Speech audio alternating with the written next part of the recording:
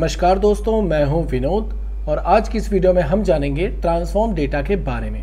आप देखेंगे data type के अंदर एक ऑप्शन है हमारा गेट एंड ट्रांसफॉर्म डेटा जिसके अंदर हम सीखेंगे कि आप किस तरह से डिफरेंट टाइप्स की फाइल्स को एम एस के अंदर इम्पोर्ट कर सकते हैं और साथ ही हम यह भी जानेंगे कि हम किस तरीके से एम एस एक्सेल की फ़ाइल को एक दूसरी फ़ाइल के साथ लिंक कर सकते हैं। तो चलिए वीडियो को शुरू करते हैं। शुरू करने से पहले आपसे निवेदन है, अगर आपने हमारे चैनल को सब्सक्राइब नहीं किया है तो इसे सब्सक्राइब कर लें। हम इसी तरह से आपके लिए बेहतरीन वीडियोस लाते रहेंगे। तो चलिए वीडियो को शुरू करते हैं, जिसमें सबसे पहला ऑप्शन आपको दिखाई देगा गेट डेटा का। गेट डेटा पर जैसे हम क्लिक करेंगे, यहाँ पर आपको दिखाई देगा फ्रॉम फ़ाइल फ्रॉम फ़ाइल के अंदर आप डिफरेंट टाइप्स की एक्सटेंशन की फ़ाइल यहाँ पर इंपोर्ट कर सकते हैं, चाहे वो आपकी एम एस की हो चाहे वो आपकी कोई टेक्स्ट की फ़ाइल हो, चाहे वो आपका एक्सएमएल फॉर्मेट में कोई फ़ाइल हो जेसन में फ़ाइल हो, या फिर आपका कोई डिफरेंट टाइप का फोल्डर हो। तो इनमें से आप किसी भी तरीके की कोई भी एक्सटेंशन कन्वर्ट कर सकते हैं, इसको इम्पोर्ट कर सकते हैं, जिसमें आप देखेंगे एक्सेस की फ़ाइल को भी आप यहाँ से इम्पोर्ट कर सकते हैं। बहुत सारी एक्सटेंशन को ये सपोर्ट करता है डिफरेंट टाइप्स के एक्सटेंशन से आप डेटा को इंपोर्ट कर सकते हैं। तो चलिए मैं आपको कुछ डेटा इंपोर्ट करके दिखाता हूँ, जिसमें सबसे पहले हम जाएँगे फ़र्स्ट ऑप्शन पर। फ्रॉम फ़ाइल के अंदर आप देखेंगे फ्रॉम वर्कबुक इस पर जैसे ही हम क्लिक करेंगे, क्लिक करने के बाद हमारे सामने एक डायलॉग बॉक्स ओपन होगा। इस डायलॉग बॉक्स के अंदर जा करके हमें डेस्कटॉप को सिलेक्ट करना है, यानी जहाँ पर भी आपकी फ़ाइल पड़ी हुई है, उस फ़ाइल को यहाँ पर आप सिलेक्ट कर लेंगे। सेलेक्ट करने के बाद मान लीजिए मेरे पास एक फ़ाइल है कंडीशनल फॉर्मेटिंग के नाम से। इस फ़ाइल को मैं यहाँ पर इम्पोर्ट कर लेता हूँ। जैसे मैं इस फ़ाइल को यहाँ पर इंपोर्ट करूँगा तो यहाँ पर आप देखेंगे उस फ़ाइल की तीनों की तीनों टेबल्स यहाँ पर शो हो जाएँगी। यानी किस टेबल का डेटा आप यहाँ पे इंपोर्ट करना चाहते हैं? फ़र्स्ट शीट पर आप देखेंगे ये डेटा पड़ा हुआ है आपका सेकंड शीट पर आपका ये डेटा पड़ा हुआ है थर्ड शीट पर आपके पास ये डेटा पड़ा हुआ है। तो मान लीजिए हम फ़र्स्ट शीट का डेटा इसे इंपोर्ट करना चाहते हैं तो हम फ़र्स्ट टेबल को सिलेक्ट करेंगे और यहाँ पर हम सिंपली इसे लोड पर क्लिक कर देंगे। आप इसे यहाँ पर लोड भी कर सकते हैं और इसे ट्रांसफॉर्म डेटा पे भी क्लिक कर सकते हैं। तो हम फ़िलहाल इसे लोड पर क्लिक करेंगे। लोड पर जैसे हम क्लिक करेंगे, आप देखेंगे हमारी वो टेबल यहाँ पर रिप्रेजेंट हो चुके हैं। यानी वो डेटा हमारा यहाँ पर इम्पोर्ट हो चुका है। अब इसके बाद इसे मैं मिनिमाइज करके आपको दिखा देता हूँ। जैसे मान लीजिए, हम यहाँ से जाते हैं डेस्कटॉप पर और डेस्कटॉप पर आप देखेंगे हमारे सामने ऑप्शन है कंडीशनल फॉर्मेटिंग की फ़ाइल है। इसको हम ओपन करके दिखाते हैं आपको। आप देखेंगे यही फ़ाइल थी जो हमारी वहाँ पर इंपोर्ट हो चुकी है। तो चलिए इसके बाद और भी मैं कुछ ऑप्शंस के थ्रू आपको दिखाता हूँ कि किस तरीके से आप डेटा को इम्पोर्ट कर सकते हैं। तो चले जाइए डेटा टैप के अंदर और यहाँ पर आपके देखेंगे आपके सामने एक ऑप्शन है from text C S V का। यानी आप चाहें तो कोई किसी टेक्स्ट फ़ाइल को भी इसमें इंपोर्ट कर सकते हैं तो यहाँ पर आप क्लिक करिए। क्लिक करने के बाद मान लीजिए हमारे पास दो फ़ाइल है, एक प्रोडक्ट की और एक मेरे पास न्यू डॉक्यूमेंट की फ़ाइल है। तो मैं यहाँ पर न्यू टेक्स्ट डॉक्यूमेंट को सिलेक्ट करता हूँ सिंपली से इंपोर्ट पे क्लिक करता हूँ और इंपोर्ट पर क्लिक करने के बाद आप देखेंगे, उसके अंदर जो डेटा है वो यहाँ पर रिप्रेजेंट आपके सामने हो जाएगा। इस डेटा को अगर आप एक्सेल के अंदर इंपोर्ट करना चाहते हैं तो यहाँ पर सिंपली आपको लोड पर क्लिक करना होगा। लोड पर जैसे आप क्लिक करेंगे, वो डेटा ऑटोमेटिकली नेक्स्ट शीट पर ऑटोमेटिकली रिप्रेजेंट हो जाएगा। तो इस तरीके से आप डेटा को इंपोर्ट कर सकते हैं। इसके बाद और भी ऑप्शन इसके अंदर है, जिसके अंदर आप वेब के थ्रू कोई डेटा इंपोर्ट कर सकते हैं, यानी कि इंटरनेट का अगर कोई डेटा है, वो भी अगर आप इंपोर्ट करना चाहते हैं तो एक्सेल के अंदर ये फीचर ऐड हो चुका है, जिसके अंदर हम इसको इंपोर्ट कर सकते हैं। तो चलिए मैं आपको ये भी करके दिखा देता हूँ। तो इसके लिए हम फ्रॉम वेब पर जैसे ही क्लिक करेंगे तो हमारे सामने एक यूआरएल का ऑप्शन आएगा बेसिक का और एडवांस का। एडवांस के अंदर आपको काफ़ी सारी इन्फॉर्मेशन खुद से टाइप करनी होती है तो हम सिंपली बेसिक यूज़ करेंगे। बेसिक के अंदर जाने के बाद हम सिंपली यहाँ पर उस यूआरएल को पेस्ट कर देंगे, जो इस यू का डेटा मुझे यहाँ पर इम्पोर्ट करना है। तो सिंपली हमने मान लीजिए एक साइट ओपन कर रखी है यहाँ पर कोरोना वायरस की तो इसको हम यहाँ पर सिलेक्ट करेंगे, यहाँ पर इसको कॉपी करेंगे। कॉपी करने के बाद यहाँ पर चले जाएँगे एक्सेल शीट के अंदर और एक्सेल शीट के अंदर जाने के बाद सिंपली हम इसे पेस्ट कर देंगे। पेस्ट करने के बाद जैसे हम यहाँ पर ओके पर प्रेस करेंगे ओके पर प्रेस करते ही थोड़ा सा समय लेगा और डेटा हमारा ट्रांसफॉर्म होना स्टार्ट हो जाएगा। अब आप देखेंगे आपके सामने एक और विंडो यहाँ पर रिप्रेजेंट हो गई है। यहाँ से अगर आप वेब व्यू देखना चाहते हैं तो वेब व्यू पर जैसे क्लिक करेंगे तो ये वेबसाइट का पूरा व्यू यहाँ पर दिखा देगा कि कौन सा डेटा आपने यहाँ पर इंपोर्ट किया है। अगर आप टेबल व्यू देखना चाहते हैं तो यहाँ पर सिंपली टेबल व्यू पर क्लिक करके यहाँ पर जिस भी टेबल को यहाँ पर सिलेक्ट करेंगे, उस टेबल का पूरा का पूरा डेटा यहाँ पर आपके सामने रिप्रेजेंट हो जाएगा। तो इस टेबल को अगर आप इंपोर्ट करना चाहते हैं या टेबल वन को इंपोर्ट करना चाहते हैं तो जिस भी टेबल को आप इंपोर्ट करना चाहते हैं, उसको यहाँ पर सिलेक्ट करना होगा और सिंपली आपको लोड पर क्लिक कर देना होगा। जैसे आप लोड पर क्लिक करेंगे, आपका पूरा का पूरा डेटा यहाँ पर रिप्रेजेंट हो जाएगा। यहाँ पर थोड़ी सी प्रोसेसिंग चल रही है क्योंकि डेटा काफ़ी ज़्यादा लार्ज है। थोड़ा डाउनलोड होने में समय ले रहा है। तो ये पूरा का पूरा डेटा इंटरनेट से कॉपी होगा और आपके एक्सेल शीट के अंदर ऑटोमेटिकली बाय डिफ़ॉल्ट पेस्ट हो जाएगा। पेस्ट होने के बाद आप इसको अपने हिसाब से यूज़ कर सकते हैं। इस डेटा को आप एनालाइज कर सकते हैं, अपने हिसाब से इसको मैनेज कर सकते हैं। तो यहाँ पर आप देखेंगे हमारा वो डेटा पूरा का पूरा यहाँ पर इंपोर्ट हो चुका है। तो इसको आप अपने हिसाब से यूज़ कर सकते हैं। इस कंटेंट को आप अपने हिसाब से यूज़ कर सकते हैं। तो चलिए, इसके बाद और भी काफ़ी सारे ऑप्शन हैं, जिसमें मैं आपको दिखाऊँगा कि किस तरीके से हम एक्सेल की फ़ाइल को इसमें इंपोर्ट कर सकते हैं और कनेक्शन कर सकते हैं इसका। अब आप देखेंगे हमारे सामने एक और ऑप्शन है रिसेंट सोर्सेज का। इस सोर्स पर जैसे हम क्लिक करेंगे तो आपके सामने यहाँ पर दिखाएगा कि आपने कितनी फाइलों को यहाँ पर ऐड किया हुआ है, यानी कितनी फाइलों को यहाँ पर हमने ऐड किया हुआ है। जैसे आप देखेंगे यहाँ पर कोरोना वायरस का हमारे पास डेटा इंपोर्ट है एग्ज़ाम्पल वन की शीट इंपोर्ट है डेटाबेस की शीट इंपोर्ट है कंडीशनल फॉर्मेटिंग की शीट इंपोर्ट है और टेक्स्ट की फ़ाइल इंपोर्ट यहाँ पर है। तो जितनी भी फाइल्स हमने यहाँ पर इंपोर्ट कर रखी होती हैं, पहले भी कर रखी होती है या रिसेंट में की होती हैं, वो सारी हिस्ट्री यहाँ पर हमारे सामने रिप्रेजेंट करता है।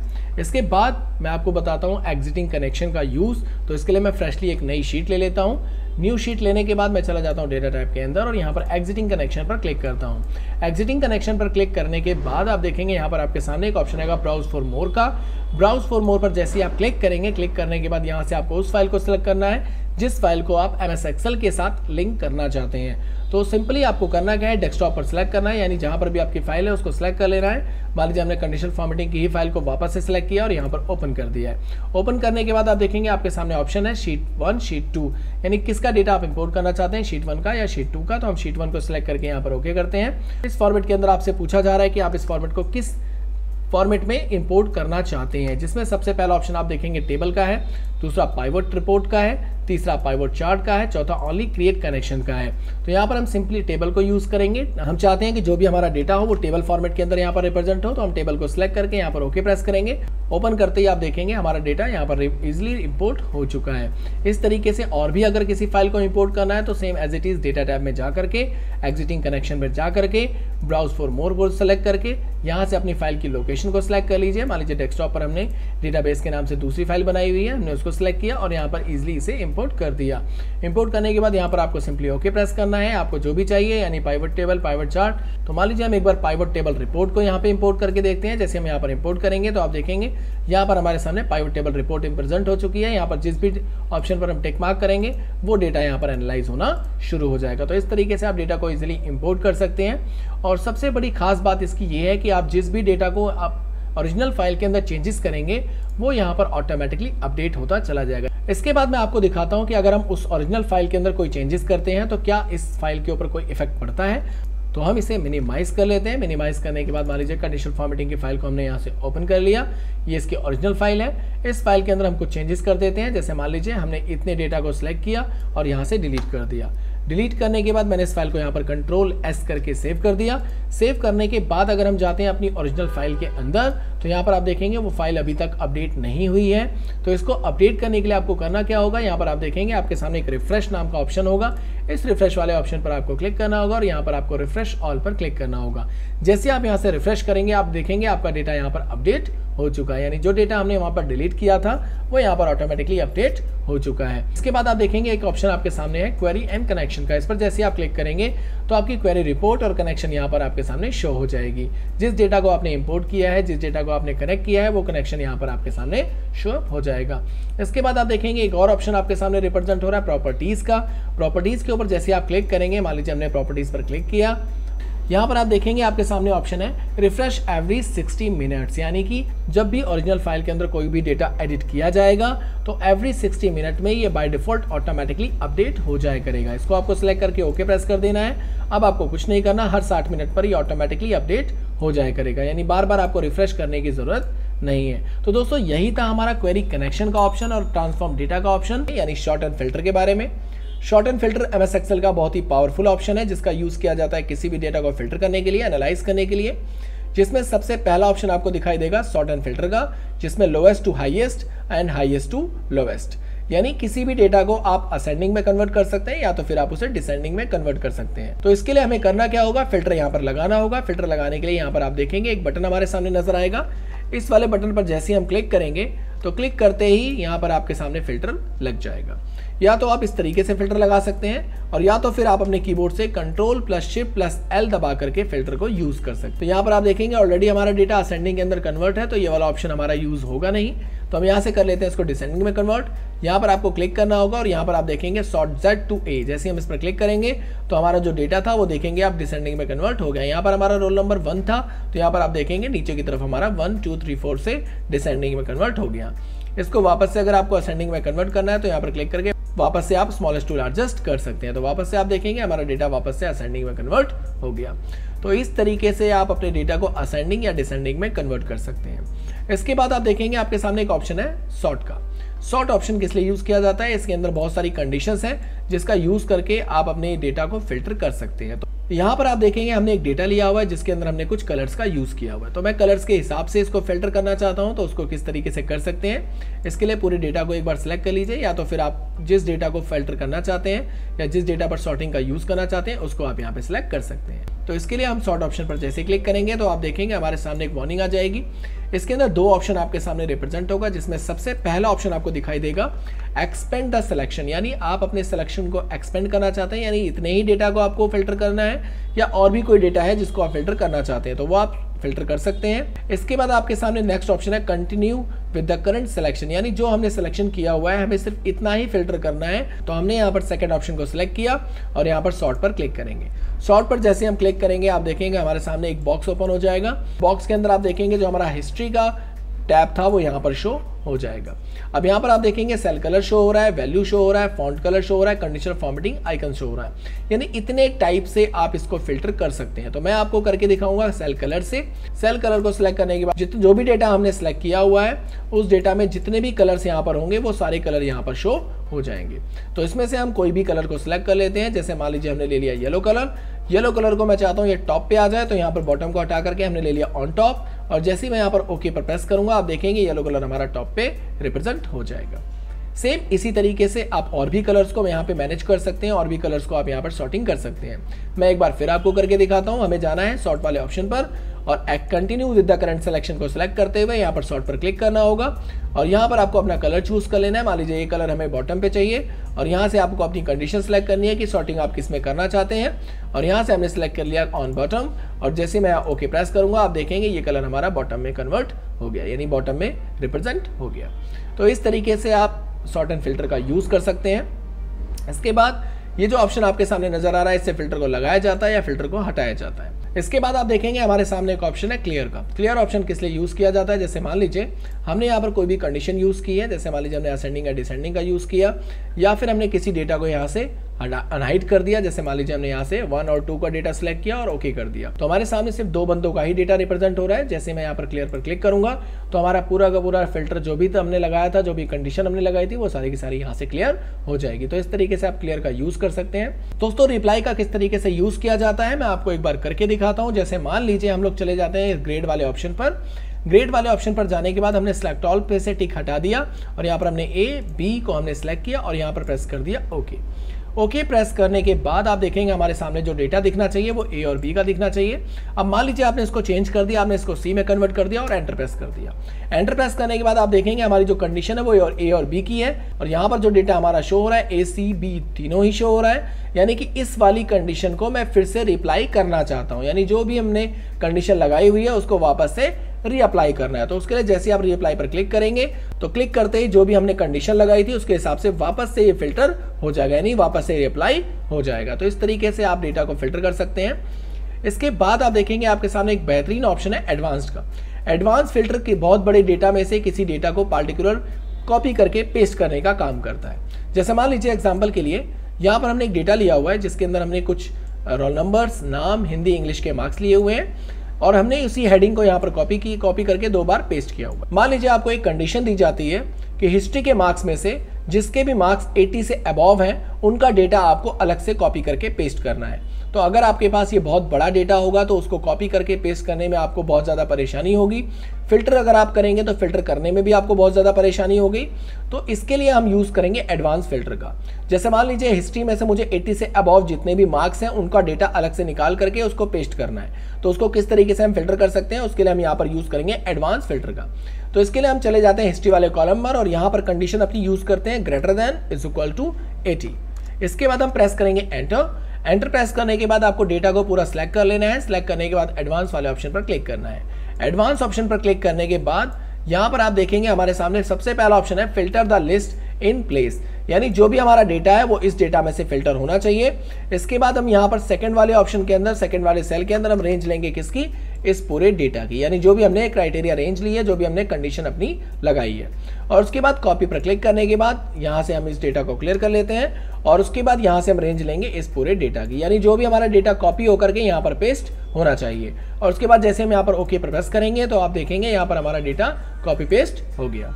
तो इस तरीके से आप अपने बड़े डेटा को एनालाइज कर सकते हैं, अपने बड़े डेटा को फ़िल्टर कर सकते हैं। तो दोस्तों, यही था फ़िल्टर का ऑप्शन अगर आपको हमारा वीडियो पसंद आया हो तो चैनल को लाइक कमेंट शेयर ज़रूर कीजिएगा।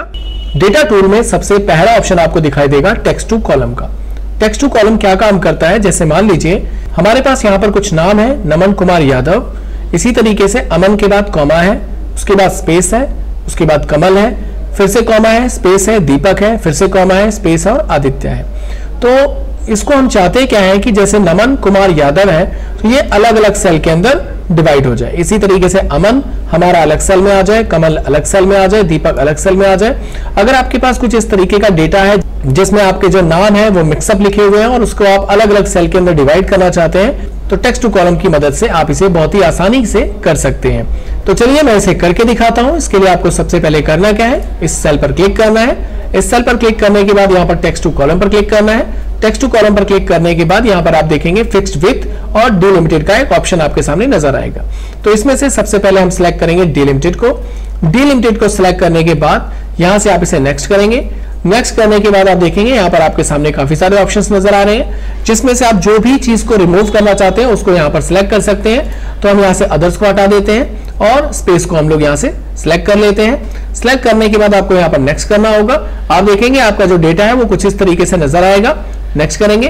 नेक्स्ट करने के बाद डेस्टिनेशन के अंदर आपको क्या करना है? उस जगह की रेंज देनी है जहाँ पर आप डेटा को लेना चाहते हैं तो यहाँ पर हम बी कॉलम को सिलेक्ट कर लेते हैं और यहाँ पर हम सिंपली फिनिश कर देते हैं। जैसे हमने फिनिश किया, आप देखेंगे हमारा जो डेटा था, वो अलग अलग सेल के अंदर डिवाइड हो गया। सेम इसी तरीके से आप आप अमन, कमल, दीपक और आदित्य को और इसके कॉमा को किस तरीके से रिमूव कर सकते हैं, मैं वो तरीका आपको बताता हूँ। उसके लिए भी आपको सिंपल सेल को सिलेक्ट करना है। टेक्स्ट टू कॉलम पर क्लिक करना है। यहाँ से वापस से आना है डिलिमिटेड के अंदर और यहाँ पर नेक्स्ट को क्लिक करना है। नेक्स्ट पर आने के बाद आप देखेंगे हमें रिमूव क्या करना है तो स्पेस को रिमूव करना है और दूसरा हमें रिमूव करना है कॉमा को। तो हम दोनों को सिलेक्ट करेंगे। अगर आप कॉमा को यहाँ पर सिलेक्ट नहीं करते हैं तो आप देखेंगे यहाँ पर आपके सामने कॉमा भी रिप्रेजेंट होगा, यानी आपके नाम के साथ कॉमा भी शो होगा। तो यहाँ पर आप कॉमा को सिलेक्ट कर लीजिए ताकि कॉमा आपका ना आए। और इसके बाद आपको करना क्या है सिंपल नेक्स्ट पे क्लिक करना है। और नेक्स्ट पर क्लिक करने के बाद आपको डेस्टिनेशन देना है। और डेस्टिनेशन हमने दे दिया यहाँ पर इस सेल का, और उसके बाद हमने सिंपल कर दिया फिनिश फिनिश करते ही आप देखेंगे आपका डेटा यहाँ पर डिवाइड हो गया। सेम इसी तरीके से अब आप देखेंगे, हमारे पास दीपक कुमार प्रसाद है, जिसके बीच में कोई भी स्पेस नहीं है। अब इसको किस तरीके से रिमूव किया जाता है वो भी देख लीजिए। डेटा को हम वापस से सिलेक्ट करेंगे टेक्स्ट टू कॉलम को सिलेक्ट करेंगे, यहाँ से फिक्स्ड को सिलेक्ट करेंगे, और यहाँ से नेक्स्ट करेंगे। यहाँ से आपको क्या करना है? सिंपल क्लिक करना है। जहाँ से आपको इसको डिवाइड करना है, वहाँ से यहाँ पर भी क्लिक कर देना है। जहाँ से आप इसे डिवाइड करना चाहते हैं और सिंपल आपको यहाँ पर नेक्स्ट करना है। डेस्टिनेशन के अंदर आपको सेल का एड्रेस देना है तो सेल का एड्रेस हमारा ये है, जहाँ पर हमें डिवाइड होकर के डेटा चाहिए। फिनिश करेंगे, आपका डेटा यहाँ से डिवाइड हो चुका है। तो यहाँ देखिए, हमने दीपक की जगह पर हमने के को भी कट कर दिया है तो वो के हमारा यहाँ पर रिप्रेजेंट हो गया। तो इस तरीके से आप डेटा को डिवाइड कर सकते हैं। इसके बाद अगर हम बात करें नायरा की यहाँ पर आप देखेंगे Naira at the rate ABC dot com है। यानी यहाँ पर किसी वेबसाइट का लिंक भी दिया हुआ है और हमें इसे रिमूव करना है तो इसे हम किस तरीके से करेंगे? डेटा को सिलेक्ट करेंगे सेम टेक्स्ट टू कॉलम को सिलेक्ट करेंगे और यहाँ से आपको जाना है डिलिमिटेड के अंदर और यहाँ पर करना है सिंपल नेक्स्ट नेक्स्ट करने के बाद यहाँ पर आपको सिलेक्ट करना है अदर्स और अदर्स में आपको वो सिंबल टाइप कर देना है, जो सिंबल आप लेना चाहते हैं। स्पेस यहाँ पर नहीं है कॉमा यहाँ पर नहीं है तो हम दोनों टिक्स को यहाँ से हटा देते हैं और यहाँ पर नेक्स्ट करेंगे। नेक्स्ट करने के बाद आपको डेस्टिनेशन में एड्रेस देना है। किस जगह पर आप इसको रिप्रेजेंट करना चाहते हैं तो हमने यहाँ पर सिलेक्ट करके डेस्टिनेशन एड्रेस दे दिया और सिंपल फिनिश कर दिया। तो आप देखेंगे ये डेटा हमारा यहाँ से डिवाइड होकर रिप्रेजेंट हो गया। तो इस तरीके से आप टेक्स्ट टू कॉलम का यूज़ कर सकते हैं। इसके बाद आप देखेंगे फ्लैश फिल का एक ऑप्शन है, जिसका यूज़ किस तरीके से किया जाता है तो इसके लिए हम चले जाते हैं नेक्स्ट शीट पर। नेक्स्ट शीट पर जाने के बाद आप देखेंगे यहाँ पर हमने कुछ नाम लिखे हुए हैं, जिसमें हमने लिखा हुआ है अमन पांडे, दीपक यादव, कमल मिश्रा, संदीप त्रिपाठी और आनंद मिश्रा। तो इन सभी को हमें क्या करना है? डिवाइड करना है। किससे? फ़र्स्ट नेम को अलग करना है और लास्ट नेम को अलग करना है। तो इसको किस तरीके से कर सकते हैं? इसके लिए सिंपल सबसे पहले आपको क्या करना होगा? फ़र्स्ट वाले सेल में आपको बताना होगा कि आप इसे किस तरीके से डिवाइड करना चाहते हैं। तो हमने यहाँ पर लिख दिया अमन। और इसके बाद यहाँ पर हमने लिख दिया पांडे। सिंपल करना क्या है? सिंपल फ़र्स्ट नेम को सिलेक्ट करना है। और यहाँ पर आपको जाना है फ्लैश फिल पर। जैसे फ्लैश फिल पर आप क्लिक करेंगे, वो ऑटोमेटिकली इस डेटा को डिवाइड करके नेक्स्ट सेल पे रिप्रेजेंट करा देगा। इसी तरीके से यहाँ पर आपको सिलेक्ट करना है और सिंपल फ्लैश फिल पर क्लिक कर देना है। तो आप देखेंगे, यहाँ पर भी आपका डेटा जो सरनेम था, वो यहाँ पर रिप्रेजेंट हो चुका है। तो इस तरीके से आप फ्लैश फिल का यूज़ कर सकते हैं। फ्लैश फिल से आप अपने सरनेम को और अपने नाम को अलग अलग कॉलम में डिवाइड कर सकते हैं। तो ये दोनों ही ऑप्शन बहुत ही काम के ऑप्शन है। इसके बाद आप देखेंगे, एक ऑप्शन आपके सामने नज़र आएगा रिमूव डुप्लीकेट्स का। डुप्लीकेट्स का मतलब अगर कोई नाम डुप्लीकेट यहाँ पर लिखा होगा तो उसे आप किस तरीके से रिमूव कर सकते हैं? तो मान लीजिए मैं यहाँ पर लिख देता हूँ यादव, और यादव को मैं क्या करना चाहता हूँ? एक यादव मैं डिलीट करना चाहता हूँ, एक यादव को रिमूव करना चाहता हूँ डुप्लीकेट वैल्यू मैं यहाँ पर नहीं चाहता तो डेटा को यहाँ पर सिलेक्ट करूँगा, और यहाँ पर सिलेक्ट करूँगा रिमूव डुप्लीकेट पर। रिमूव डुप्लीकेट को सिलेक्ट करने के बाद आप देखेंगे आपके सामने एक ऑप्शन आएगा एक्सपेंड द सिलेक्शन क्या आप अपने सिलेक्शन को एक्सपेंड करना चाहते हैं? और दूसरा ऑप्शन आपके सामने नज़र आएगा continue with the current selection यानी जो सिलेक्शन हमने लिया हुआ है, आप उसी पर कंटिन्यू करना चाहते हैं तो यहाँ पर सेकंड ऑप्शन को सिलेक्ट करेंगे और यहाँ पर रिमूव डुप्लीकेट को सिलेक्ट करेंगे। और यहाँ पर ये यह आपके सामने दिखा रहा है लास्ट कॉलम में, यानी लास्ट नेम में आपका डेटा है जो डुप्लीकेट है। तो उसे हम क्या करेंगे? रिमूव करेंगे और जैसे ओके प्रेस करेंगे, आप देखेंगे एक यादव यहाँ से रिमूव हो चुका है। तो इस तरीके से आप अपने डेटा को रिमूव कर सकते हैं, यानी डुप्लीकेट डेटा चाहे वो नंबर हो, चाहे वो अल्फाबेट्स हो, आप उसे इजी तरीके से रिमूव कर सकते हैं। इसके बाद हम बात करते हैं यहाँ से डेटा वैलिडेशन की। तो डेटा वैलिडेशन बहुत ही काम का फ़ंक्शन है। डेटा वैलिडेशन का यूज़ किस तरीके से किया जाता है, वो मैं आपको क्लियर करके दिखाता हूँ। जैसे मान लीजिए, हमने एक एरिया यहाँ पर सिलेक्ट किया और डेटा वैलिडेशन पर क्लिक किया। डेटा वैलिडेशन पर क्लिक करने के बाद यहाँ से हमें सिलेक्ट करना है वोल नंबर लिस्ट के बारे में डेट टाइम के बारे में मैं पहले बता चुका हूँ। अगर आपने वो वीडियो नहीं देखी है तो लिंक के डिस्क्रिप्शन में आपको वीडियो मिल जाएँगी। वहाँ से आप इसे देख सकते हैं। तो यहाँ से हमें करना क्या है? सिंपल वोल नंबर को सिलेक्ट करना है। और यहाँ पर आप देखेंगे, आपके सामने बहुत सारी डिफरेंट टाइप्स की कंडीशंस आपके सामने शो होंगी। जैसे बिटवीन है नॉट बिटवीन है equal greater than less than बहुत सारी कंडीशंस है तो यहाँ पर हम ले लेते हैं बिटवीन को, कि बिटवीन में हमने यहाँ पर मिनिमम वैल्यू डाल दी लाइक हमने दे दिया 30 और मैक्सिमम वैल्यू हमने दे दिया लाइक 100 और इसके बाद हमने यहाँ पर इनपुट मैसेज में क्या टाइप किया? लाइक like टाइटल में हम दे देते हैं नॉट बी यूज़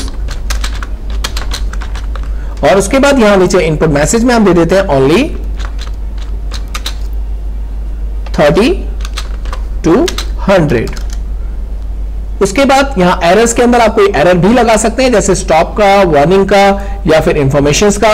तो यहाँ पर हम ले लेते हैं स्टॉप और यहाँ टाइटल में दे देते हैं स्टॉप और यहाँ पर अगर आप जो भी मैसेज लिखना चाहते हैं, मान लीजिए हमने कोई भी मैसेज यहाँ पर टाइप कर दिया, वो मैसेज मैं शो कराना चाहता हूँ कि अगर कोई इसमें इंफॉर्मेशन गलत डाले तो उसको ये मैसेज शो हो। इसके बाद हम यहाँ पर सिंपल प्रेस करेंगे ओके ओके प्रेस करने के बाद आप देखेंगे, ये मैसेज हमारा सिंपल इस सेल में शो हो रहा है, यानी नॉट बी यूज़ यानी इसके अंदर आप 30 वैल्यू डालेंगे तो एक्सेप्ट करेगा 100 डालेंगे तो एक्सेप्ट करेगा 101 डालते ही आपको एरर दे देगा जो हमने यहाँ पर वार्निंग लगाई थी। तो इस तरीके से आप इसको यूज़ कर सकते हैं। अगर इसमें, अब आप देखेंगे एक और ऑप्शन है हमारे सामने, इस पर क्लिक करने के बाद यहाँ पर एक सर्कल का ऑप्शन है, इस पर जैसे हम क्लिक करेंगे तो आप देखेंगे हमारा पूरा का पूरा डेटा जो पहले से ही टाइप था, वो यहाँ पर शो अप हो गया, यानी सर्कल में शो हो गया। यानी ये डेटा हमारा पहले से इसमें टाइप था और उसके बाद जो हमारी कंडीशन हमने लगाई है, उसके बाद ये कंडीशन वर्क कर रही है। तो इस तरीके से आप बता सकते हैं कि ये डेटा हमारा पहले से ही टाइप था। इसके बाद अगर आप कोई वैल्यू टाइप करने की कोशिश करेंगे तो वैल्यू इसके अंदर टाइप नहीं होगी। तो इसके बाद अब अगर आप इसे रिमूव करना चाहते हैं तो यहाँ पर सिंपल क्लिक करके इस सर्कल को यहाँ से इजिली रिमूव कर सकते हैं। तो रिमूव सर्कल पर क्लियर वैलिडेशन सर्कल पर क्लिक करेंगे तो यहाँ से आपका जो क्लियर वैलिडेशन सर्कल था, वो यहाँ से रिमूव हो जाएगा। अगर आप इसकी पूरी कंडीशन को यहाँ से रिमूव करना चाहते हैं तो डेटा को पूरा सिलेक्ट करिए, जहाँ तक आपने कंडीशन लगाई थी।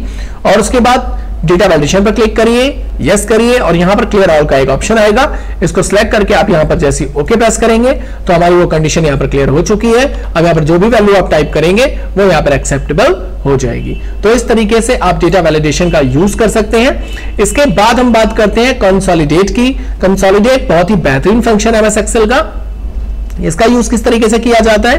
ये हमारी बहुत सारे काम को इजी कर देता है। जैसे कि मान लीजिए, हम इस तीनों वैल्यूज़ का प्लस करना चाहते हैं माइनस करना चाहते हैं मल्टीप्लाई करना चाहते हैं डिवाइड करना चाहते हैं, यानी बहुत सारी कंडीशंस को हम इसके अंदर यूज़ करना चाहते हैं। और बार बार हम रेंज को लेना नहीं चाहते तो इसके लिए हम कंसोलिडेट का यूज़ कर सकते हैं। इसके लिए आपको कंसोलिडेट पर क्लिक करना होगा।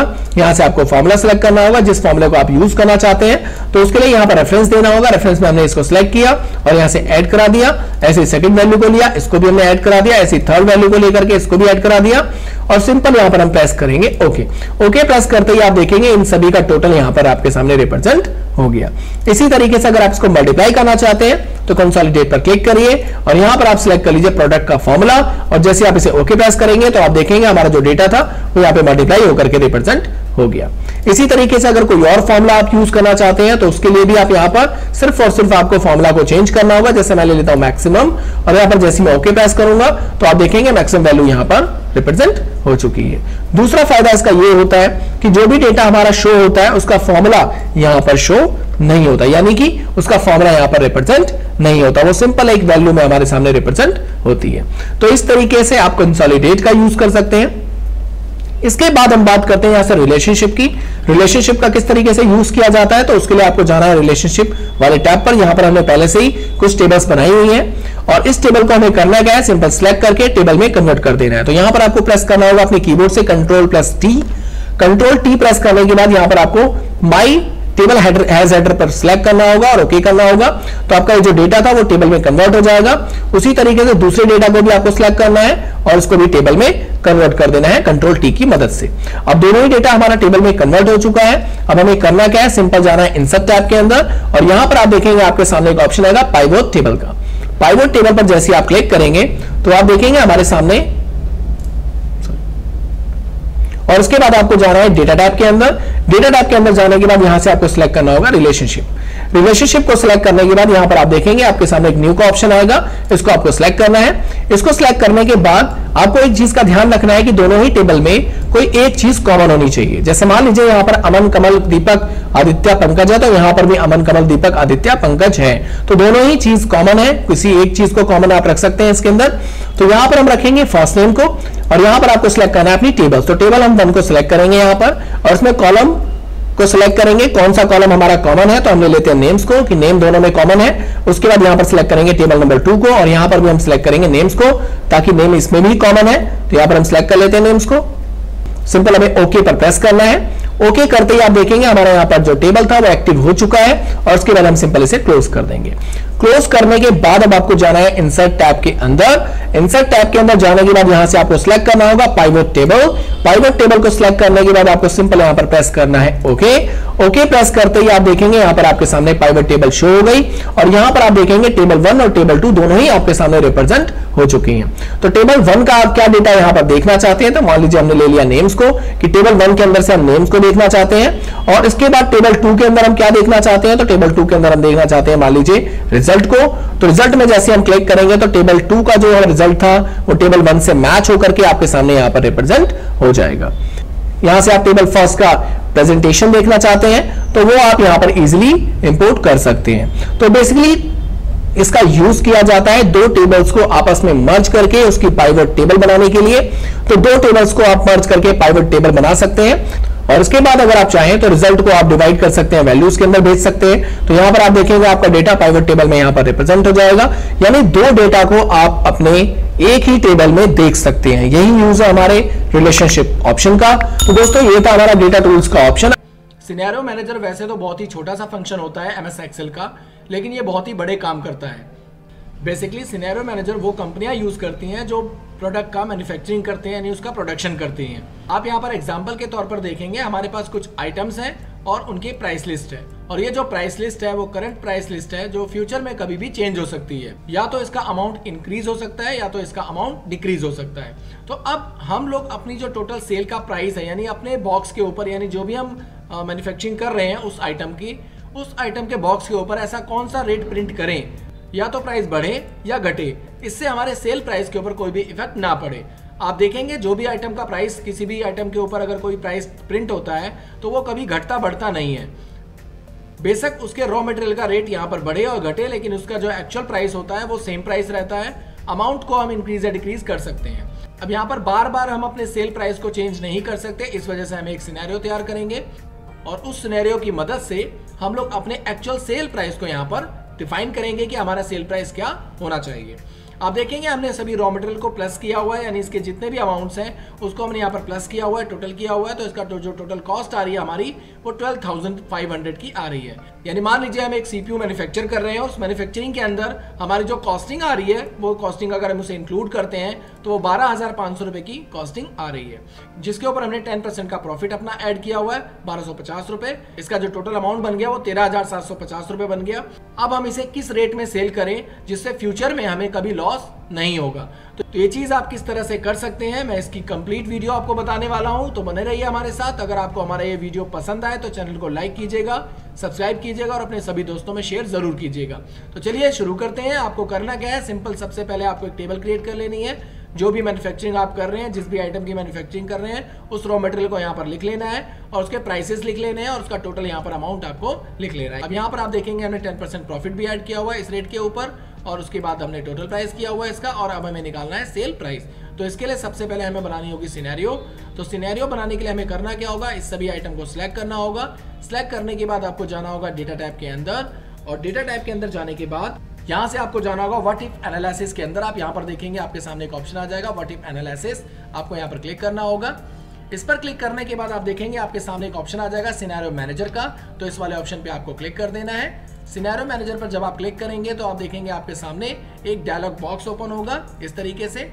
और इस डायलॉग बॉक्स के अंदर आपको सिलेक्ट करना है ऐड यानी हम सबसे पहले मिनिमम कॉस्ट को ऐड करेंगे और उसके बाद मैक्सिमम कॉस्ट को ऐड करेंगे और उसके बाद दोनों का कंपैरिजन करेंगे। तो सबसे पहले हम लोग इस ऐड पर क्लिक कर लेते हैं। क्लिक करने के बाद आप देखेंगे आपके सामने एक डायलॉग बॉक्स और ओपन हो जाएगा इस तरीके से। तो यहाँ पर आपको क्या करना है, अपना सिनेरियो का नाम दे देना है। जैसे मैं यहाँ पर दे देता हूँ मिनिमम प्राइस और इसके बाद यहाँ पर मैं इसे कर दूँगा ओके। ओके करने के बाद आप देखेंगे आपके सामने फिर से एक डायलॉग बॉक्स ओपन हो जाएगा।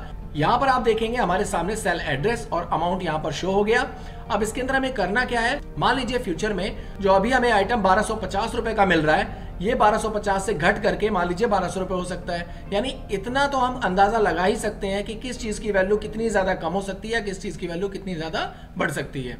अब ये जो बारह रुपए का हमें आइटम मिल रहा है, ऐसा तो होगा नहीं कि हज़ार रुपए में मिलने लग जाएगा। दस बीस पचास रुपए कम हो सकते हैं मैक्सिमम टू मैक्सिमम पचास रुपए कम हो सकते हैं, इससे ज़्यादा कम नहीं होगा। इतना हमें अंदाज़ा होता है। तो उस अंदाजे के हिसाब से हम यहाँ पर अपने रेट को डिफाइन कर लेंगे। तो चलिए इस रेट को डिफाइन कर लेते हैं। हम यहाँ पर टाइप कर लेते हैं, बारह की जगह बारह सौ और इसके बाद यहाँ पर 3000 की जगह हम दे देते हैं इसको 2800 और इसके बाद यहाँ पर आप देखेंगे 550 रुपीज़ है तो इसको हम दे देते हैं 500 रुपीज़ और यहाँ पर इसे दे देते हैं हम लोग बत्तीस सौ रुपए और यहाँ पर दे देते हैं हम लोग इसे नौ सौ रुपए। यानी ये हमारी मिनिमम वैल्यू थी। मिनिमम वैल्यू को हम यहाँ पर क्या करेंगे? ऐड करा देंगे। यहाँ पर आप देखेंगे आपके सामने एक ऐड का ऑप्शन होगा। इस ऐड वाले ऑप्शन पे आपको क्लिक करना है। ऐड पर क्लिक करने के बाद आपके सामने फिर से एक डायलॉग बॉक्स ओपन होगा। और यहाँ पर आप दूसरा नाम लिखेंगे, यानी मैक्सिमम कॉस्ट लिखेंगे अपनी। तो यहाँ पर हम लिख देते हैं मैक्सिमम प्राइस इसके बाद आपको ओके करना होगा। ओके करने के बाद फिर से उसी तरीके का सेल एड्रेस आ जाएगा आपके सामने। तो यहाँ पर हम मैक्सिमम कॉस्ट लिख देते हैं। कि फ्यूचर में हमारी ये वैल्यू कितनी ज़्यादा इंप्रूव हो सकती है। तो इतना तो अंदाज़ा हम इसमें भी लगा सकते हैं कि आज से आज तेरह या चौदह सौ रुपए, इससे ज़्यादा लास्ट इससे ज़्यादा हाईएस्ट नहीं हो सकती। तो हम यहाँ पर क्या करेंगे? अपनी उसी तरीके से वैल्यू पुट कर लेंगे। तो यहाँ पर हम लोग ले लेते हैं, मान लीजिए, तेरह सौ पचास रुपए। यहाँ पर थ्री थाउज़ेंड है तो इसको हमने ले लिया बत्तीस सौ रुपए।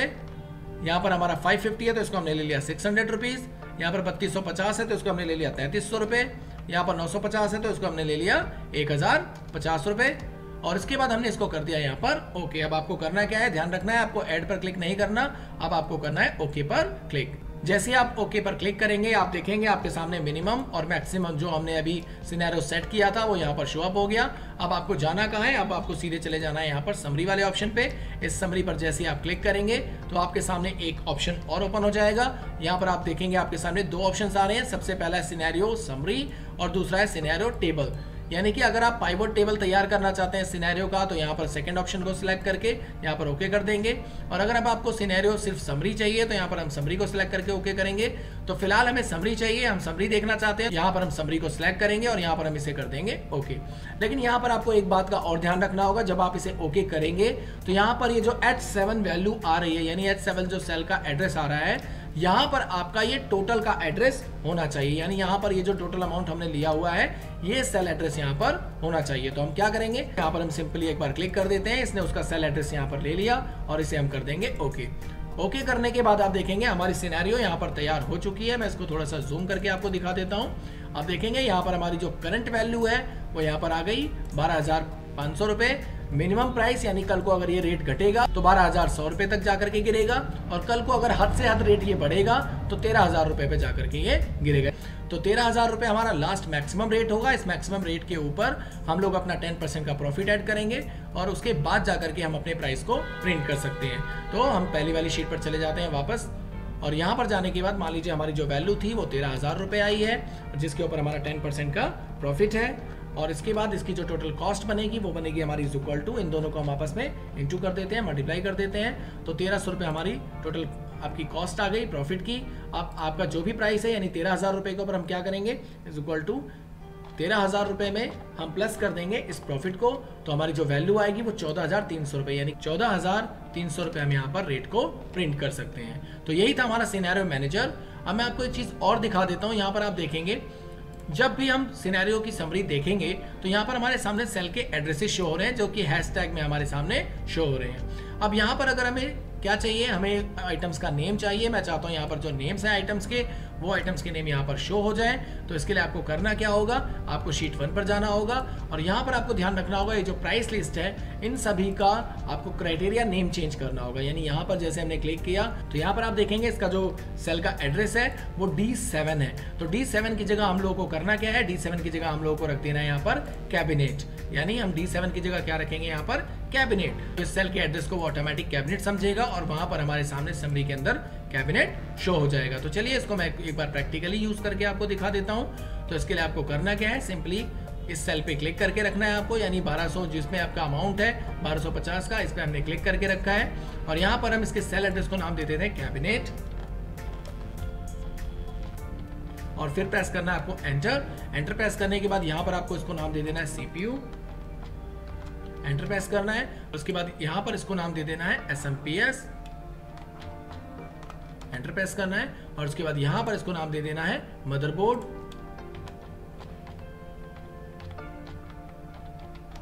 और इसके बाद यहाँ पर इसको क्लिक करके नाम दे देंगे हम लोग रैम और यहाँ पर हम इसका नाम दे देते हैं H D D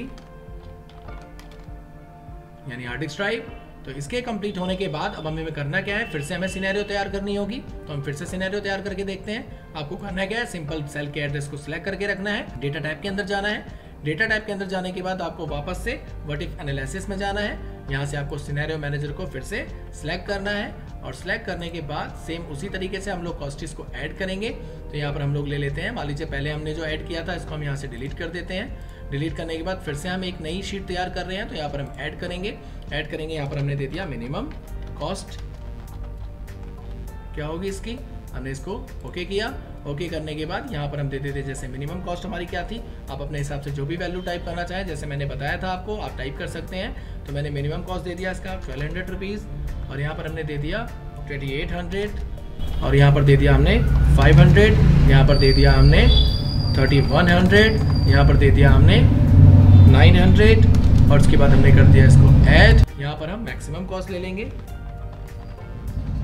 enter press करेंगे। एंटर प्रेस करने के बाद यहाँ पर मैक्सिमम कॉस्ट टाइप कर लेते हैं, जैसे हमने टाइप कर लिया तेरह सौ रुपये और उसके बाद हम ले लेते हैं यहाँ पर बत्तीस सौ रुपये और यहाँ पर ले लेते हैं हम लोग छः सौ रुपये यहाँ पर ले लेते हैं हम लोग तैंतीस सौ रुपये यहाँ पर ले लेते हैं हम लोग एक हज़ार पचास अब देखेंगे यहाँ पर मिनिमम कॉस्ट और मैक्सिमम कॉस्ट दोनों यहाँ पर शो हो गई। अब आपको सिंपली करना क्या है? समरी पर क्लिक करना है। यहाँ पर आपको टोटल रेंज सेलेक्ट करके रखनी है। इस बात का आपको ध्यान रखना है कि यहाँ पर ये रेंज सेलेक्ट होनी चाहिए जब आप समरी क्रिएट करेंगे तो और उसके बाद आपको सिंपल ओके कर देना है। ओके करने के बाद आप देखेंगे आपकी यहाँ पर करंट वैल्यू तैयार हो चुकी है, और यहाँ पर आप देखेंगे आपके सेल का नाम भी यहाँ चेंज हो चुका है। यानी आपके सेल का जो नाम था, वो हट करके यहाँ पर जो आपने आइटम का नेम दिया था, वो आइटम नेम यहाँ पर शो हो चुका है। उसी हिसाब से आपकी करंट वैल्यू यहाँ पर शो हो गई मिनिमम कॉस्ट यहाँ पे शो हो गई, और मैक्सिमम कॉस्ट यहाँ पर शो हो गई। तो इसी को कहा जाता है scenario manager M S Excel में गोलसिक का जो फीचर है, वो बहुत ही बेहतरीन फीचर है, जिसका यूज़ किया जाता है किसी भी टारगेट को कंप्लीट करने के लिए। जैसे एग्ज़ाम्पल के लिए आप देखेंगे, यहाँ पर हमने कुछ डेटा लिया हुआ है, जिसके अंदर हमने कुछ प्राइस लिस्ट को ऐड किया हुआ है। यहाँ पर आप देखेंगे प्लास्टिक का जो प्राइस है वन थाउज़ेंड है पावर का जो प्राइस है, वो फाइव हंड्रेड है।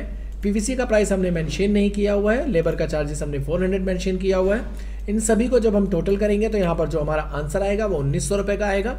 इस पर हमने सम का फॉर्मूला यूज़ किया हुआ है। अब मेरा जो टारगेट है, वो टारगेट है पच्चीस रुपये का, यानी मैं चाहता हूँ यहाँ पर जो टोटल अमाउंट आना चाहिए, वो पच्चीस सौ पीवीसी का जो प्राइस होगा, वो क्या होगा? यानी हमें टारगेट पता है कि इस पर क्या आंसर आना चाहिए तो पीवीसी पाइप का जो प्राइस है, वो क्या होना चाहिए? तो इसके लिए हम लोग यूज़ करेंगे गोल सिक का। तो गोल सिक के लिए हमें करना क्या है? सबसे पहले टोटल वैल्यू को सिलेक्ट करके रखना है, और इसके बाद हमें जाना है डेटा टाइप के अंदर। डेटा टाइप के अंदर आपको जाना है वॉटिफ एनालिसिस और यहाँ पर आपको जाना है गोल सिक ऑप्शन के ऊपर। गोलसी का ऑप्शन पर जैसे ही आप क्लिक करेंगे तो आप देखेंगे हमारा जो सेट सेल वैल्यू है, वो यहाँ पर सिलेक्ट हो चुकी है। टू वैल्यू यानी आपको कौन सी वैल्यू चाहिए, कितनी वैल्यू चाहिए, वो यहाँ पर आप अपना टारगेट बता दीजिए। तो हमने ले लिया टारगेट पच्चीस सौ रुपये पच्चीस रुपये टारगेट लेने के बाद यहाँ पर हमने ले लिया बाय चेंजिंग सेल यानी बाय चेंजिंग सेल क्या होना चाहिए? तो हमने यहाँ पर चेंजिंग सेल ले लिया पीवीसी पाइप का, यानी यहाँ पर जो भी वैल्यू है वो इनपुट हो जाए और यहाँ पर हमारा जो डेटा है वो पच्चीस रुपये शो हो जाना चाहिए। जैसे हम यहाँ पर ओके पर प्रेस करेंगे तो आप देखेंगे यहाँ पर हमारी वैल्यू 600 ऐड हो चुकी है और यहाँ पर हमारा जो टारगेट था वो कंप्लीट हो चुका है।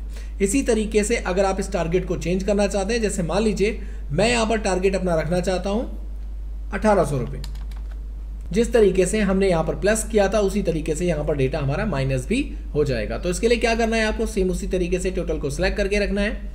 वट इफ़ एनालिसिस के अंदर जाना है? यहाँ से आपको गोल सिक्स सिलेक्ट करना है। टोटल वैल्यू आपको सिलेक्ट करनी है। टू वैल्यू के अंदर हम वैल्यू अपनी डाल देते हैं कि हमें कितनी वैल्यू चाहिए तो हम दे देते हैं यहाँ पर 1800 उसके बाद बाय चेंजिंग सेल हमारा क्या होना चाहिए? मान लीजिए हम प्लास्टिक में चेंज करना चाहते हैं। प्लास्टिक को हमने सेलेक्ट किया और जैसे हम यहाँ पर ओके प्रेस करेंगे तो यहाँ पर वैल्यू हमारी डिक्रीज हो जाएगी और हमारा जो आंसर था वो यहाँ पर मैनेज हो जाएगा। तो इस तरीके से आप गोलसिक ऑप्शन का यूज़ कर सकते हैं।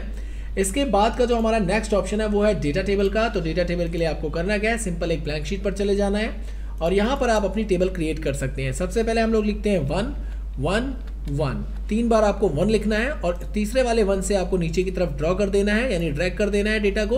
और यहाँ पर इस ऑप्शन पर क्लिक करके फिल सीरीज़ पर क्लिक कर देना है। यहाँ पर आपको जो वैल्यू रखनी है वो टेन तक रखनी है, इलेवन को हम डिलीट कर देते हैं। इसके बाद आपको इस वाले वन को यानी तीसरे वाले वन को फिर से सिलेक्ट करना है और यहाँ से आप इसे जितना ले जाना चाहें उतना ले जा सकते हैं और उसके बाद यहाँ पर इसको भी फिल सीरीज़ कर देना है। यानी जितनी आप टेबल बनाना चाहते हैं उतना आप इसे ड्रैग कर सकते हैं। ड्रैग करने के बाद आपको क्या करना है, इस तीसरे वाले वन पर क्लिक करना है सिंपली। और इज़ इक्वल टू का यूज़ करना है। इज़ इक्वल टू यूज़ करने के बाद आपको पहले वाले वन को सिलेक्ट करना है और मल्टीप्लाई करना है दूसरे वाले वन से। और उसके बाद प्रेस कर देना है एंटर वन इंटू वन अगर हुआ तो यहाँ पर जो आंसर आएगा वन ही आएगा, यानी वन इंटू वन वन ही होता है। और उसके बाद अब आपको क्या करना है? पूरा का पूरा डेटा इस तरीके से सिलेक्ट कर लेना है ऊपर के दोनों वन को छोड़कर। अब ये पूरा का पूरा डेटा हमारा सिलेक्ट हो चुका है। सिलेक्ट होने के बाद आपको फिर से जाना है इसी ऑप्शन पर, यानी कि वट इफ़ एनालिसिस के ऊपर। और यहाँ पर आपको सिलेक्ट करना है डेटा टेबल डेटा टेबल को सिलेक्ट करने के बाद यहाँ पर आप रो इनपुट सेल को सिलेक्ट करेंगे, यानी पहले वाले वन को सिलेक्ट करेंगे और यहाँ पर कॉलम को सिलेक्ट करेंगे और यहाँ पर जैसे ही आप यहाँ पर ओके okay प्रेस करेंगे तो आप देखेंगे आपकी टेबल यहाँ पे जनरेट हो चुकी है। यानी टू वन जा टू टू टू जा फोर ये आप जितनी ज़्यादा टेबल बनाना चाहें, उतनी टेबल आप यहाँ पे क्रिएट कर सकते हैं। तो इस तरीके से आप यूज़ कर सकते हैं डेटा टेबल का। इसके बाद का जो हमारा नेक्स्ट ऑप्शन है, वो है फोरकास्ट शीट फोरकास्ट शीट का जो यूज़ किया जाता है, वो यूज़ किया जाता है किसी भी डेटा के फ्यूचर को पता करने के लिए। जैसे मान लीजिए, हमारे पास कुछ डेटाबेस है, जिसमें हमने कुछ मंथली सेल्स को डिफाइन किया हुआ है। जैसे जनवरी की अगर हम सेल देखें तो जनवरी की हमारी सेल है, फरवरी की सेल है, मार्च की सेल है, इस तरीके से हमने सेल्स डिफाइन की हुई है। यहाँ पर जो सिक्स जुलाई की जो हमारी सेल है, वो नहीं है। उसका डेटा हमारे पास नहीं है। इसी तरीके से आगे का जो डेटा है, वो भी हमारे पास नहीं है। यानी मान लीजिए ये डेटा अभी हमारे पास आया ही नहीं है, यानी इस डेटा को हमने इनपुट किया ही नहीं है, ये आगे का हमारा फ्यूचर है। अब इस फ्यूचर की जो शीट है, वो किस तरीके से हम क्रिएट करेंगे? यानी हमारा फ्यूचर में हमें लॉस होगा या प्रॉफिट होगा या इसी, जिस तरीके से हमारा ये डेटा बेस बना हुआ है, यानी जिस तरीके से हमारा डेटा लॉस में जा रहा है या प्रॉफिट में जा रहा है ये आपको एक ग्राफ बना करके दे देगा, जिसमें आपको पता चल जाएगा कि अगर आपकी वैल्यू इंक्रीज होगी तो कितनी इंक्रीज हो सकती है, और अगर डिक्रीज होगी तो कितनी ज़्यादा डिक्रीज हो सकती है, और अगर मैनुअली चलेगी तो कितनी ज़्यादा मैनुअल चल सकती है। तो इसके लिए हम पूरे डेटा को एक बार सिलेक्ट कर लेते हैं। सिलेक्ट करने के बाद हम चले जाते हैं फोरकास्ट शीट के ऊपर। फोरकास्ट शीट पर जैसे हम क्लिक करेंगे तो आप देखेंगे हमारा पूरा का पूरा डेटा यहाँ पर मैनेज हो गया, यानी शो हो गया। यहाँ पर आप देखेंगे हमारा एक ग्राफ बन गया है, जिस, जिसकी मदद से हमें यह पता चल जाएगा कि हमारा जो डेटा है, वो आगे आने वाला जो फ्यूचर है हमारा, वो सीधे जाएगा या ऊपर ग्रोथ करेगा और ऊपर ग्रोथ करेगा तो कितना ग्रोथ कर सकता है और डिक्रीज करेगा तो कितना ज़्यादा डिक्रीज कर सकता है। तो इस तरीके से आप इसकी फोरकास्ट क्रिएट कर सकते हैं फोरकास्ट शीट क्रिएट कर सकते हैं। आपको जाना होगा डेटा टाइप के अंदर और यहाँ पर आप देखेंगे, आपका एक फ़ंक्शन है आउटलाइन का। आउटलाइन के अंदर आपको दिखाई देगा ग्रुप अनग्रुप और सब टोटल का ऑप्शन इस ऑप्शन का यूज़ कहाँ होता है, किस तरीके से इसका यूज़ किया जाता है, आज हम ये जानने वाले हैं। इसका जो बेसिकली यूज़ किया जाता है, वो मोस्टली एमआईएस रिपोर्ट के अंदर इसका ज़्यादा यूज़ किया जाता है। एमआईएस की फुल फॉर्म होती है मैनेजमेंट इन्फॉर्मेशन सिस्टम जब भी हम छोटे से छोटा डेटा को इकट्ठा करते हैं और एक बड़ा डेटा बनाते हैं और उस डेटा को अगर हम अपने ऑफिसर्स के सामने या मैनेजमेंट के सामने रिप्रेजेंट करते हैं तो उसको रिप्रेजेंट करने के लिए हमें बहुत ही शॉर्ट तरीके से उसको रिप्रेजेंट करना होता है ताकि हमारे ऑफिसर्स और मैनेजमेंट उस डेटा को समझ पाए। तो इसका जो काम है, इसका जो यूज़ है, वो बेसिकली आपके बड़े से बड़े डेटा को एक शॉर्ट डेटा में कन्वर्ट करके आपके ऑफिसर्स को एनालाइज करने के लिए। तो चलिए एक एक करके हम इन सभी ऑप्शंस का यूज़ समझते हैं। अगर आपको हमारा ये वीडियो पसंद आए तो चैनल को लाइक कमेंट शेयर ज़रूर कीजिएगा। तो चलिए वीडियो को शुरू करते हैं। यहाँ पर आप देखेंगे, सबसे पहला फीचर है हमारा ग्रुप का। ग्रुप का फीचर हम कब यूज़ करते हैं? जैसे मान लीजिए हमारे पास एक डेटा है, जिसमें हमने कुछ माउस लिया हुआ है, कीबोर्ड्स लिया हुआ है, यूपीएस एसएमपीएस और एचपी प्रिंटर्स लिए हुए हैं। मान लीजिए हम जो माउस है, माउस का एक अलग से ग्रुप क्रिएट करना चाहते हैं तो उसको हमें सेलेक्ट करना होगा। ग्रुप को आप रो वाइज कॉलम वाइज दोनों तरीके से कर सकते हैं तो फ़िलहाल हम रो वाइज करके देखते हैं। हमने ग्रुप को सिलेक्ट किया यानी हमने माउस के ग्रुप को सिलेक्ट कर लिया है, यानी जितना भी माउस का हमारा डेटा था, हमने उसे सिलेक्ट कर लिया है। सिलेक्ट करने के बाद आपको सिंपली ग्रुप पर जाकर के क्लिक कर देना होगा। क्लिक करने के बाद आपके सामने एक ऑप्शन आएगा रो का और कॉलम का। आप इसे किस तरीके से ग्रुप करना चाहते हैं? रो वाइज या कॉलम वाइज तो हमने ले लिया रो और सिंपली आपको ओके पर प्रेस कर देना है। जैसे आप ओके प्रेस करेंगे तो आप देखेंगे आपके सामने यहाँ पर माइनस का निशान शो हो जाएगा। इस माइनस के निशान पर जैसे आप क्लिक करेंगे तो आपका जो डेटा था, वो हाइड हो जाएगा। यानी जितना भी माउस का डेटा था वो यहाँ पर आपका हाइड हो जाएगा। आप देखेंगे हमारा एक डेटा हमसे छूट गया था, जो कि हमने अभी इसको ऐड नहीं किया था। तो इसको हम वापस से रिमूव करके दोबारा से ऐड करते हैं। इसके लिए हम यहाँ पर वापस से अनग्रुप पर क्लिक करेंगे। जैसे आप अनग्रुप पर क्लिक करेंगे, आपका डेटा यहाँ पर रो वाइज अनहाइड हो जाएगा। तो हम पूरे के पूरे डेटा को वापस से सिलेक्ट करते हैं और उसके बाद वापस से ग्रुप पर क्लिक कर देते हैं और यहाँ पर ओके प्रेस कर देते हैं। अब आप देखेंगे, जैसे ही आप माइनस पर क्लिक करेंगे, आपका डेटा यहाँ पर हाइड हो जाएगा। और प्लस पर क्लिक करेंगे तो वापस से डेटा आपका यहाँ पर शो हो जाएगा। कॉर्नर में आप देखेंगे आपके सामने एक और फीचर है, यहाँ पर हाइड और शो का। जैसे यहाँ पर माइनस पर क्लिक करेंगे तो आप देखेंगे आपका जो डेटा है वो यहाँ पर हाइड हो गया है और अगर आप प्लस पर क्लिक करेंगे यहाँ पर तो आप देखेंगे आपका जो डेटा था वो यहाँ पर शो हो जाएगा। तो इस तरीके से भी आप इसे कर सकते हैं। इसके बाद हम और भी डेटा को ग्रुप या अनग्रुप कर सकते हैं। जैसे मान लीजिए हमने यूपीएस को सिलेक्ट किया और यूपीएस को सिलेक्ट करने के बाद यहाँ पर हमने ग्रुप पर सिलेक्ट किया और ग्रुप को सिलेक्ट करके यहाँ पर ओके कर दिया। ओके करने के बाद आप देखेंगे हमारा जो डेटा है वो यहाँ पर ये भी ग्रुप में कन्वर्ट हो चुका है, इसको भी आप माइनस कर सकते हैं और इसको भी माइनस कर सकते हैं। यानी दोनों डेटा को आप यहाँ पर हाइड कर सकते हैं। और शो कराने के लिए आप जैसे प्लस पर क्लिक करेंगे, आपका डेटा यहाँ पर शो हो जाएगा। तो इस तरीके से आप अपने डेटा को शो करा सकते हैं और हाइड करा सकते हैं। इसके बाद आपको इसे क्लियर करना है, यानी जो भी आपने ग्रुप या अनग्रुप किया हुआ है, उसे क्लियर करना चाहते हैं तो पूरे डेटा को आपको सिलेक्ट करना होगा। सिलेक्ट करने के बाद आपको जाना होगा आउटलाइन के ऊपर अनग्रुप के ऊपर, और यहाँ पर आपको क्लियर आउटलाइन पर क्लिक कर देना होगा। जैसे आप क्लियर आउटलाइन पर क्लिक करेंगे, आपका पूरा का पूरा डेटा यहाँ पर क्लियर हो जाएगा। जो भी आपने ग्रुप या अनग्रुप किया होगा, वो सब कुछ क्लियर हो जाएगा। इसके बाद का जो नेक्स्ट फीचर है, वो है सब टोटल ये बहुत ही बेहतरीन फीचर है एक्सेल का। तो इस पर, इसके लिए आपको क्या करना होगा डेटा को वापस से पूरा सिलेक्ट करना होगा। सिलेक्ट करने के बाद यहाँ पर आपको जाना होगा सब टोटल पर। सब टोटल को सिलेक्ट करने के बाद, अब यहाँ पर आप देखेंगे आपके सामने एक ऑप्शन लिखा हुआ आएगा एट ईच चेंज इन यानी किसके अंदर आप चेंज करना चाहते हैं? तो हम यहाँ पर लेंगे आइटम्स को कि हम आइटम्स के अंदर चेंज करना चाहते हैं और आइटम के अंदर आप कौन सा फ़ंक्शन यूज़ करना चाहते हैं? तो यहाँ पर फ़िलहाल हम सम का फ़ंक्शन यूज़ करेंगे, क्योंकि मैं चाहता हूँ कि जो भी हमारा डेटा हो, यानी माउस है तो माउस की जो भी रेंज है हमारी टोटल उनका ग्रैंड टोटल आ जाए। उसी तरीके से कीबोर्ड की जो भी अलग अलग रेंज है, उन सभी को प्लस करके यहाँ पर हमारे सामने रिप्रेजेंट कर दे। तो इसलिए हम यहाँ पर सिलेक्ट करेंगे सम को, और यहाँ पर आपको प्राइस को सिलेक्ट करना होगा, क्योंकि प्राइस को हमें यहाँ पर प्लस कराना है, और सिंपली आपको ओके प्रेस कर देना है। तो आप देखेंगे आपका जो माउस का टोटल था वो यहाँ पर आपके सामने रिप्रेजेंट हो गया। 150, 130, 165, 180 अगर इन सबको आप टोटल करेंगे तो 625 ही आपका आंसर आएगा। इसी तरीके से आप देखेंगे, यहाँ पर आपका सारा डेटा ग्रैंड टोटल में कन्वर्ट हो चुका है। उसी तरीके से अगर आप नीचे जाते हैं तो नीचे आप देखेंगे, आपका ग्रैंड टोटल यहाँ पर आपके सामने रिप्रेजेंट हो जाएगा। यानी जो भी आपने टोटल किया है, इन सभी का ग्रैंड टोटल आपके सामने यहाँ पर रिप्रेजेंट हो जाएगा। यहाँ पर आप डेटा को माइनस करेंगे तो आपका डेटा यहाँ पर हाइड हो जाएगा। और इस तरीके से आप अपने डेटा को हाइड करके उनका ग्रैंड टोटल रिप्रेजेंट करा सकते हैं। इस तरीके से आप अपने डेटा में बता सकते हैं कि आपने जो टोटल परचेजिंग की थी माउस की, वो इतने की की थी। कीबोर्ड की टोटल परचेजिंग आपकी इतने की हुई है यूपीएस की टोटल परचेजिंग आपकी इतने की हुई है। एसएमपीएस की टोटल परचेजिंग आपकी इतने की हुई है और सबका अगर ग्रैंड टोटल हम निकालें तो यहाँ पर इन सबका ग्रैंड टोटल आपके सामने रिप्रेजेंट हो जाएगा। इसके बाद अगर आप इसे शो कराएँगे तो शो पर जैसे आप क्लिक करेंगे, यहाँ पर आपका डेटा वापस से शो हो जाएगा और अगर आप हाइड पर क्लिक करेंगे, वापस से आपका डेटा यहाँ पर हाइड हो जाएगा। तो इस तरीके से आप अपने डेटा को बहुत ही शॉर्ट तरीके से एनालाइज कर सकते हैं। दोस्तों, यही था हमारा ग्रुप और अनग्रुप का ऑप्शन अगर आपको हमारा ये वीडियो पसंद आया तो चैनल को लाइक कमेंट शेयर ज़रूर कीजिएगा। धन्यवाद।